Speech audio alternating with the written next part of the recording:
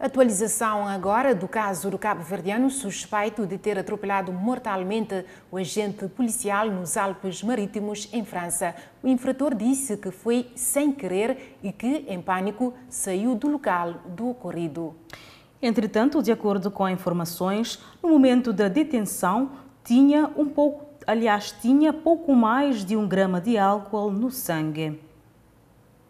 O homem de 39 anos, suspeito de ter agredido mortalmente um policial francês na noite de segunda-feira, tinha 1,09 gramas de álcool por litro de sangue no momento da sua detenção, quase oito horas depois dos fatos.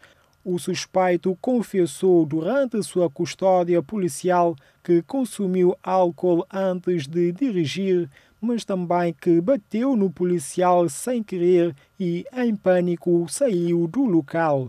O suspeito foi indiciado esta quarta-feira pelas acusações de homicídio de titular da autoridade pública e recusa de cumprimento antes de ser colocado em prisão preventiva.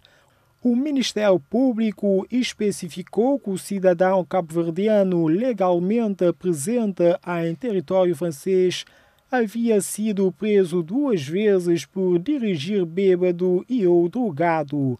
Seis das condenações dizem respeito a infrações rodoviárias, sendo as outras quatro agressões a pessoas.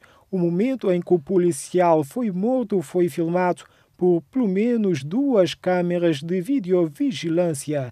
Imagens particularmente violentas mostram o condutor a chegar pela faixa da esquerda, passando subitamente para a faixa da direita antes de acelerar e atingir de forma muito violenta o agente da polícia que morreu pouco depois, apesar da intervenção dos serviços de emergência.